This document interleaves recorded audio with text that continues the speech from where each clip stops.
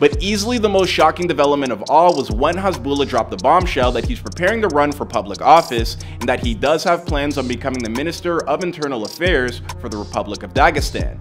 I don't know. Kanye West could learn a thing or two about how this man, you know, goes about his, uh, you know, his campaign. If you were able to accomplish that goal, what changes would you make?